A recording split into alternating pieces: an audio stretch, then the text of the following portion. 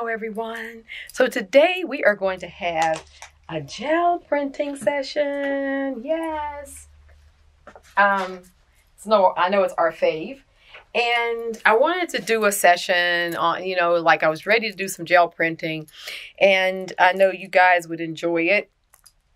And I wanted to do some for the journal. Just you know, had the idea to do some gel, some um, photo transfers on. Remember this paper that we made before? It was a coffee stained paper on the gel print, and we we did some, you know, like a little bit of, you know, stamping on it, stuff like that. I thought this would be good to do the grunge on, so that we would have that stained background.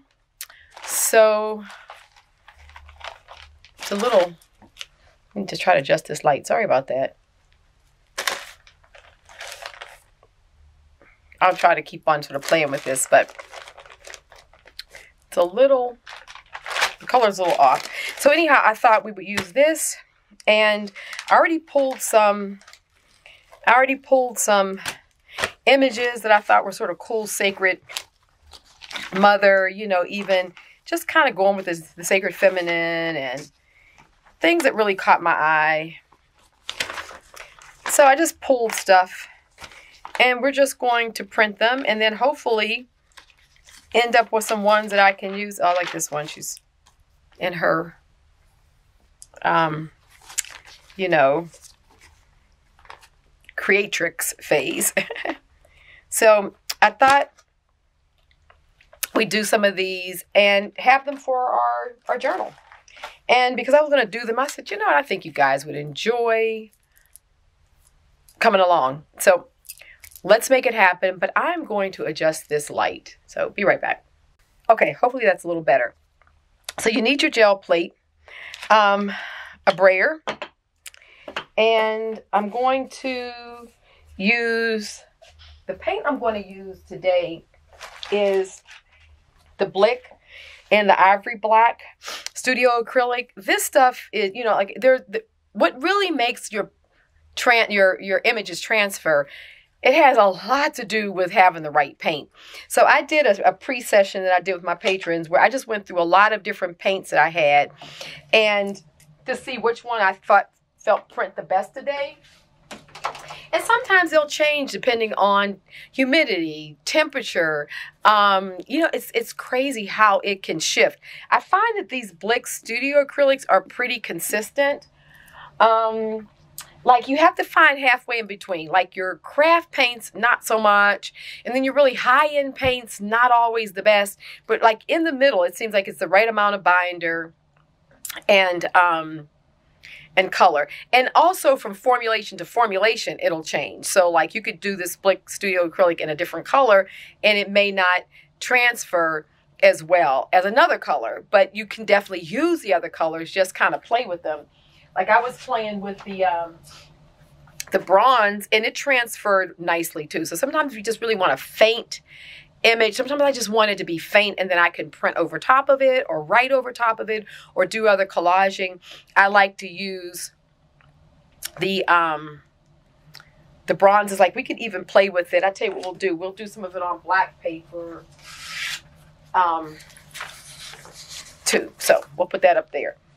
But in the meantime, let's get started. So paints are everything. Honestly, I know I notice when I see people showing um, how to do it, lots of great tips, but oftentimes I don't really see the emphasis being put on paint. and honestly, paint has everything to do with it. So you want to get a nice amount, not like not too much, but you want more than the normal thin layers that I'm fond of with the printing. You want it to have a nice, good coverage, nice sort of sticky surface. And as you're going, it should you should really, that was a little um, glob there.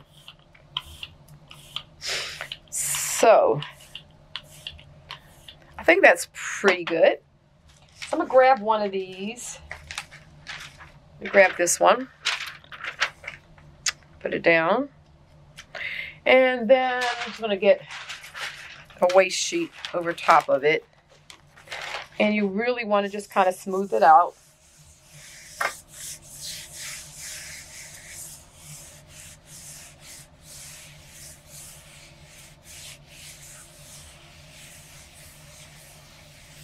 Make good full contact. And then lift it up, see what kind of transfer you got. So yeah, there she is. That's pretty good. So let me grab one of my pages here. Just grab this one.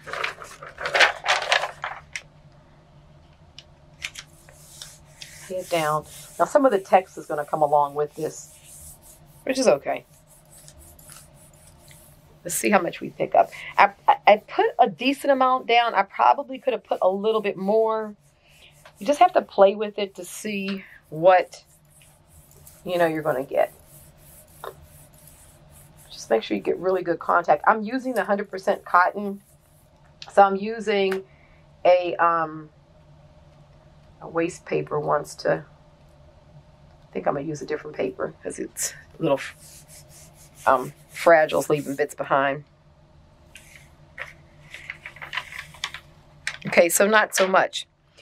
You see how um, it's very faded and a lot stayed down there. So what I'm going to do is I'm going to come back with and pick it up, but I'm going to use, I could use a clear, but I think I'm going to use a white. And it's just because it was so little on there.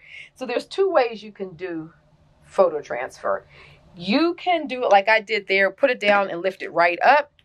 If you have a good amount on there, that's going to be fine. Um, but if you, if it starts drying like that one did, let it dry. Just want to put another coat over top. And uh, you really want to see it thin out so I can see her reappearing there. And then you can pick it up. So, and I'm not, you know, spending a lot of time with this because I kind of want what I call sort of a grunge. but um, let me get this piece of paper. I'll go with the white. Um, I'll use this one again. Might as well. It may cover up because I've used the white, so it may not, uh, but we'll see. Doesn't matter. Doesn't matter.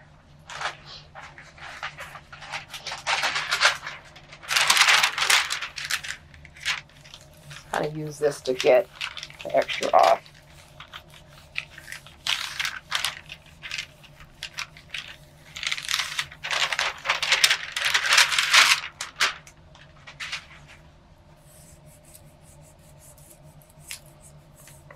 Now you can let this dry on the plate, come back to it 10, 15 minutes, um, fully dry and take it off. Uh, a lot of times it's ready to come off right now, which I got a so much better print. I love it. And it's even like a kind of got a ghost. You see that? You sort of see where her head is a little bit higher there. Um, oh, I love it. And we can still see some of our our staining, which is perfect. So I really like that. I think that's a great transfer. And how wonderful will this be for our Sacred Mother journal? I'm dancing. I'm dancing. Oh, I love it. Okay. Not a bad first one. So let's do um, our next one, which is going to be, let's, um, let's,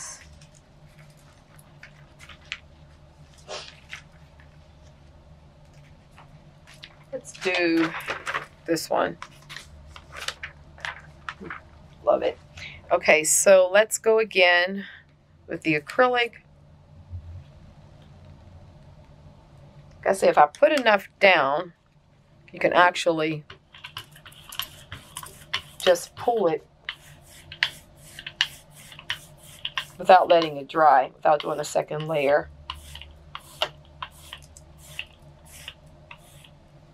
Feel like this is kind of drying sort of fast, but let's see. Let's put this down.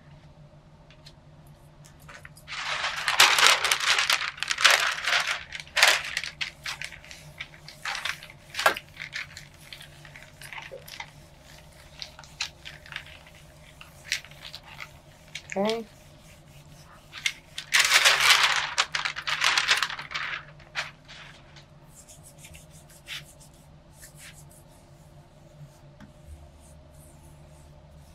Just kind of getting some of the air out of it.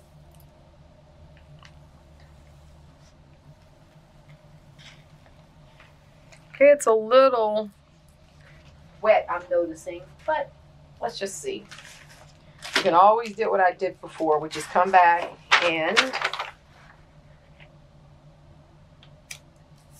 um, put a second layer over it.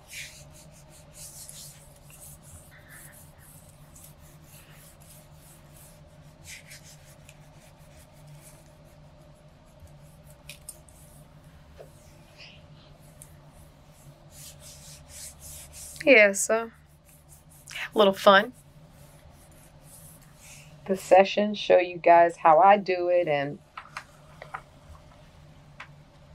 now this one smeared a bit. Okay, you see where it's a little smeared there. You know, sometimes what I do, I do everything.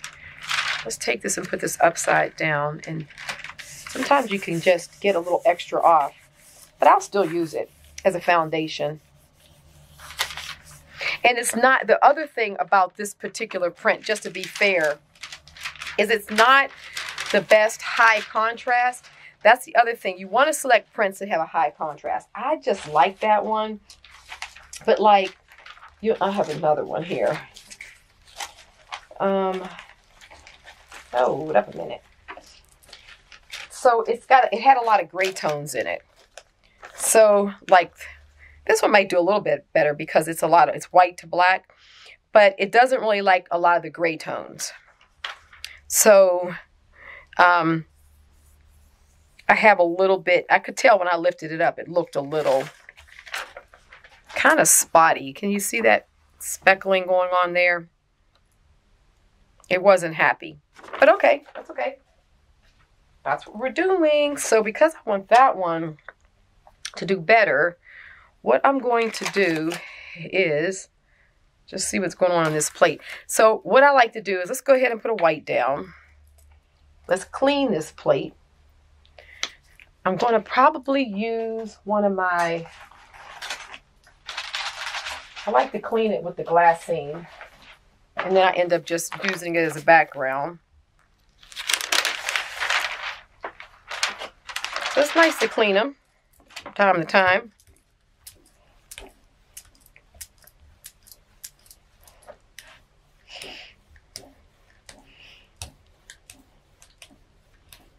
So I just want to kind of get it all the way down, get all these edges, and uh, just try to get a good clean pull off my plate. So just clean your plate from time to time with uh, you know, the fresh bit.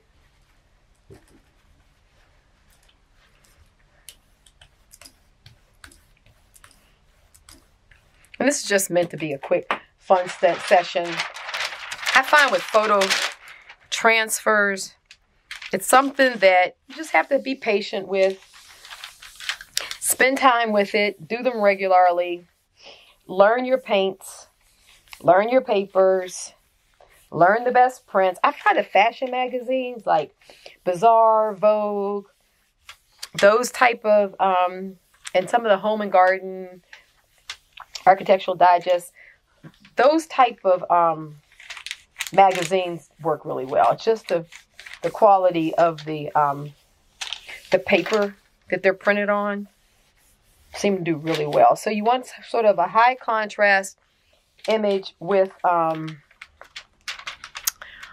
um, high contrast black, glossy, glossy pages too. Seem to work the best. Okay, good. So we got it. So we cleaned a lot of the you know, just a lot of the extra paint and stuff off. But look, it makes a nice kind of old wall type of thing that we can use. So we'll keep that. So let's go back to this black. I think I, got, I need to put a good amount down. Wow. a little bit more.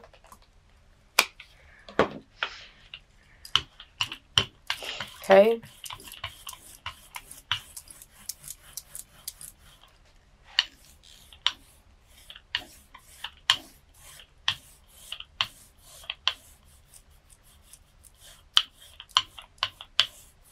To let this, this one I'm to pull and let it dry. I really want to get this one right. So we got a nice smooth coverage there. Not too thick, not too thin. See if we can get her.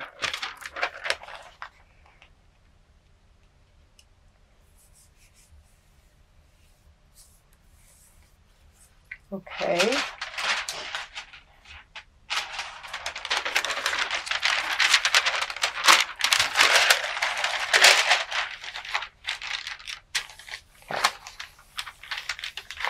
All right.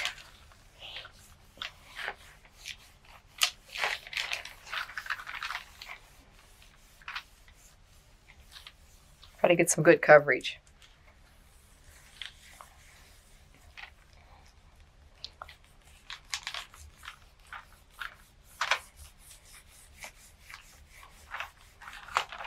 Okay. Alrighty. So let's see.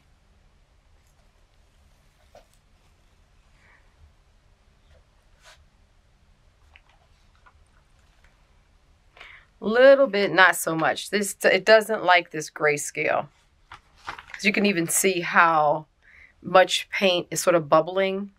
And I'm getting some right there. But I'm going to let it dry. We're going to see what we're going to get. Those were some dicey ones. I kind of did those because I wasn't sure. Like these right here, all of these I know will, will pull well because it's good contrast. But those grayscale ones, not so much. So let's just kind of get it dry. I'm to come back with the white.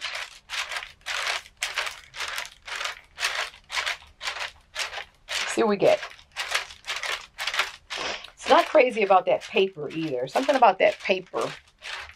as I can tell the way it's leaving that sort of um, kind of sort of puckering behind. That's normally an indicator that it's not that crazy about. Okay, let's go with some white. Okay. Oh, come on. Should have done that. Just clean that off. Don't want any paper on it. Okay.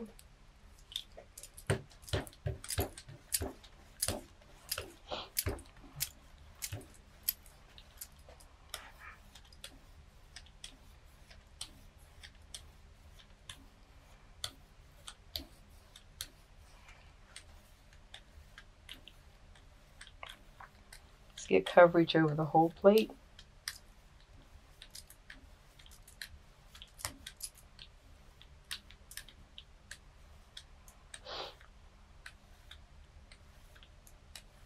And you can do stamping into this. There's so much you can do. I just want to pull this print. So I don't want to kind of mess around too much with it. But you can do lots of different things. So I'm going to pull this, see what we get.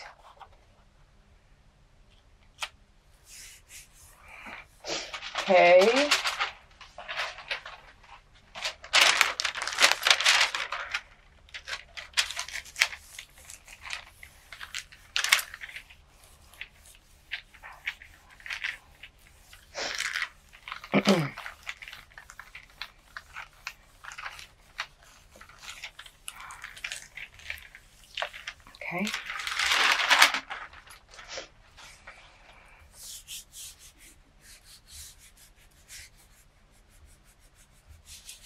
This cotton paper is a winner too because it's nice and strong. So it can hold up to the moisture and what have you. So we should be okay with this paper.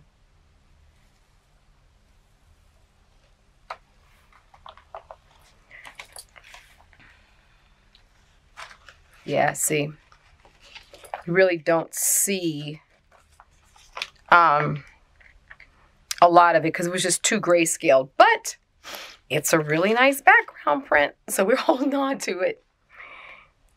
Yeah, it just wasn't happy. No problem. So let's go to, let's get some of these other ones. We know, I know I can get those. Okay. Let's do those.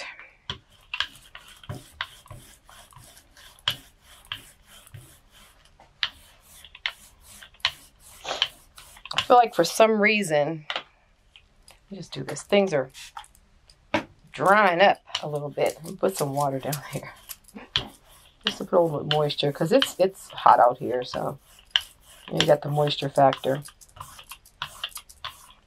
So what I'm going to do is let's grab one of these.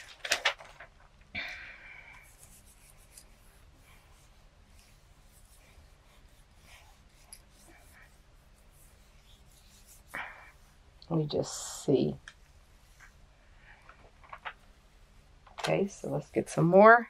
You can sort of see, you kind of want it to pull back clean everywhere except for where your um the image that you're retaining, it should hold the black, the ink, I mean the paint, because it's it has the carbon in it.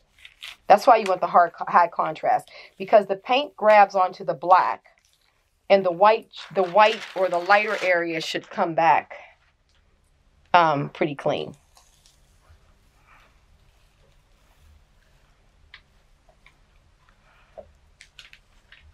So we got a little bit there with her face. I think I'm to let that dry also. And I think I'll try the bronze with that one. Why not? Give it a try.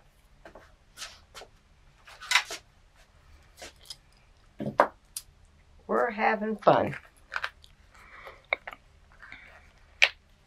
Be nice if this pops on well on top of that um,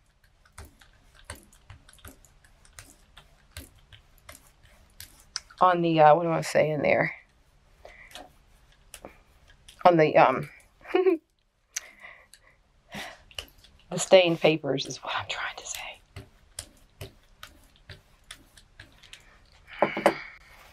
I want to kind of get, I'm not crazy about the writing. So you can kind of,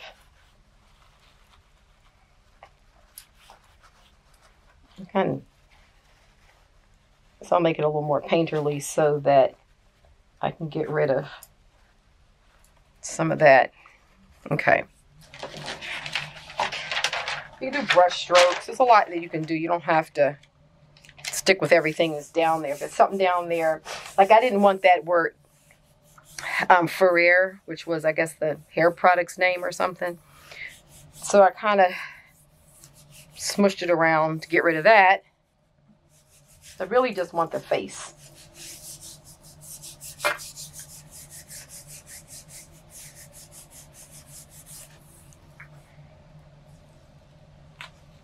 Okay, that's good. Oh, I like this. Wow, so we got that goddess face peering out.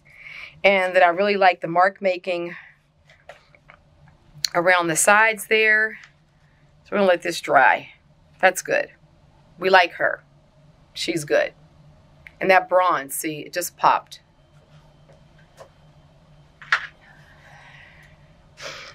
Okay.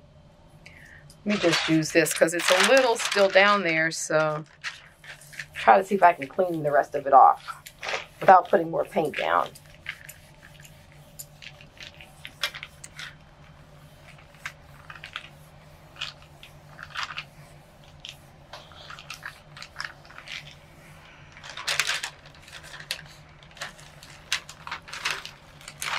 So I got a nice grunge print there too.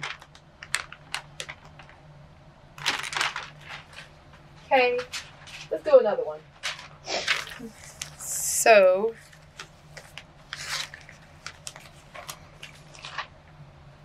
let's see if I can get this one. Put the black down again.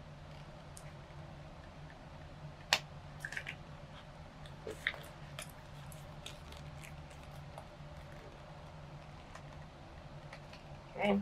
So you see I've got two good dollops there. Um, let me see, what do I have? I feel like I want to clean, clean the brayer off a bit. Getting some kind of buildup I ain't crazy about.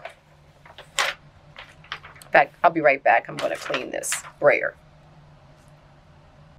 That's another tip too. I find that after I've used the brayer for a while and it starts getting a, a paint buildup, it's kind of nice to clean it. It just kind of helps to get smoother coverage again and not so. Okay. Let's go ahead and put her down.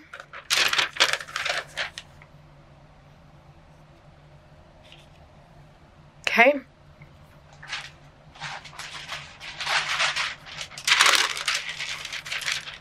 Use this to get clean around the edges.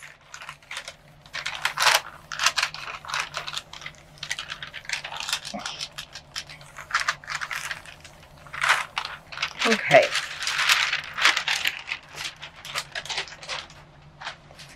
So now I really want to make sure that Let's just take a look. You can always peek and see what you have. Okay, this is pretty good, but I feel like some more can come off around these sides.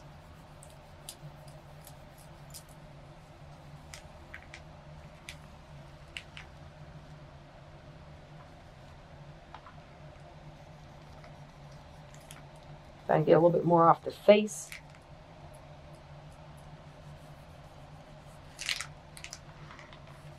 I am getting the body pretty good. Okay, so we're going to put some white on that. So let's just let that dry. Fan a little bit.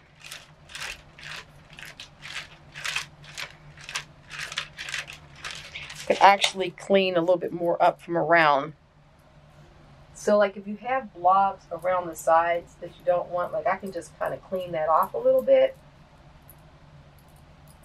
a lot of times I'll leave a lot too because I kind of like the extra um, blobs. But if you don't, I'm just showing you, you can, I'll leave those there, but you can wipe it off. I use just like a slightly damp paper towel or you can use a wet, a wet wipe, something. And then just get that off. This helps you to have a cleaner print. So yeah. So I just cleaned up a little. I left a little bit because I happen to like some of those grunge marks. But yeah, if you don't, if you want a totally nice clean print, then I'm going to go with the white. I want to get high contrast. Okay.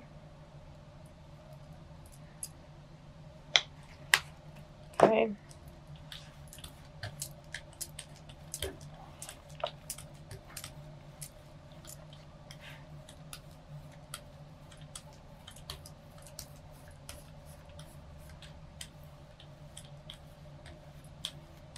And then the trick is to get a nice even coat, but you should start to be able to see your image through the uh, transfer. Like you should start, it should start being thin enough that you can see it. Kind of peering back at you.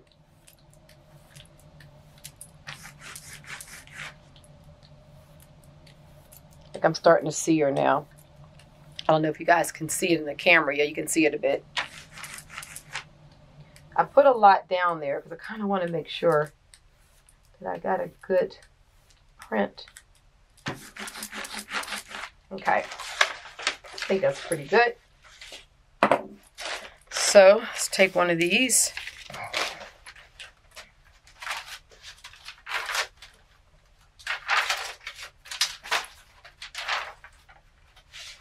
Okay.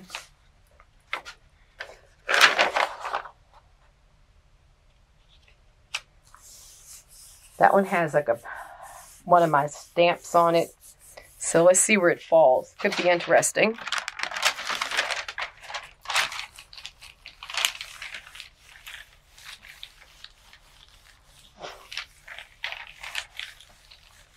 So there we have it. I hope you guys enjoyed this quick photo transfer session. I hope there's a few extra tips in there if you've tried this and you haven't had success.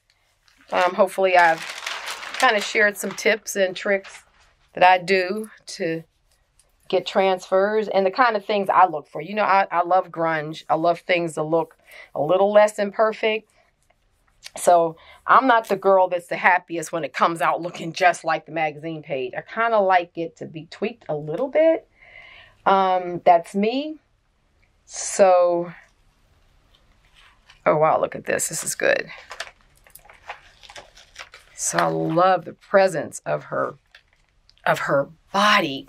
So see, this right here will be great to use in our book because you know, it's not so photo in your face type of thing. You know, we can see her we can see her presence, you know, we can see her, you know, her stance, her belly, her face, her her head, you know, like the upward tilt of her head. And yet to me, this is something I would put in my artwork because to me it's like not so precise or something. I don't know. I love it. I love it, love it, love it. This will probably be next week's. She'll be in there next week. But I'll let things dry a little bit and I'll come back and show you them all. But yeah, I hope that there was a few tips and tricks in here. One thing, try all your different paints. Try every paint you have in your studio and then see which one and do them on prints that you don't really care a lot about so you can see which one works the best. Clean your brayer in between. Make sure that, um, you know, like sometimes you have to alter it, things for temperature. In between, clean your plate. If there's something you get a buildup, and like right now, it's time for me to clean it again. See, I've got all this extra stuff and I want to keep on printing with that. This is the one time doing photo transfer that I do clean my plate a lot because I don't want too much of the underlayer affecting the print. So from that standpoint, clean the plate. And um yeah, try your papers out. You this cotton paper is really good. Using a good strong paper I find is good. It helps. It gives you enough to, enough tooth to pull the print um, and get the paint pulled off the plate, but it won't rip. Um, it's absorbent enough. The hundred percent cotton. So yeah. Anyway, I'll come back when things are dry, and we'll say goodbye. Okay, so let's flip through the prints, but one other pro tip here, not that I'm necessarily a transfer pro. Um, there's a lot of people out there that just knock the ball out the park when it comes to photo transfers. But um, what I do do, and I want to share with you, is that because I like to work on a clean plate, and those who follow me know I don't keep clean plates. What I do is you can use the same plate for all your other printing as you do for photo transfer just use the back side of your plate. So one side of my plate, I just keep, con I clean. Like I just finished cleaning this. It's absolutely clean. So when I come back at the next time, I don't have to worry about paint being on it. But then when I want to use this side of the plate, all of my good, um, you know, grunge stuff is already there and I'm ready to go. So that's what I do. So don't think that you, um, it, it does work better, I find, on a clean plate without a whole lot of stuff on it. Um, so don't feel like, oh my goodness, I got to go get another plate. No, just use the back side And with that one plate, you can have your, you know, for your your print if you if you gel print like me, and you like the extra grunge and all that stuff building up, that's great. And then just uh, use the flip side for, um, yeah, your actual photo transfer stuff. So we like her. Oh, so compelling. Those eyes. She gets used in the journal. Oh, look at that. Mm.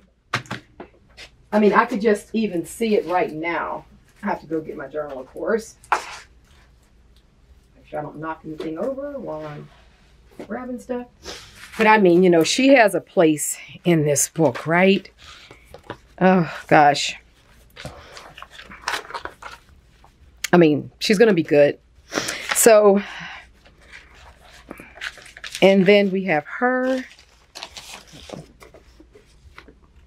I love it. And I love the painterly, you know, mark making. So remember to do that. It just adds sort of like an aqua tint. We used to call aqua tint to the way it looks, you know, just all of that. This is the one that didn't come out that great. But I'm still going to use it. You know, it might be a background piece and maybe, maybe I'm just capturing the knitting and the hands. I might.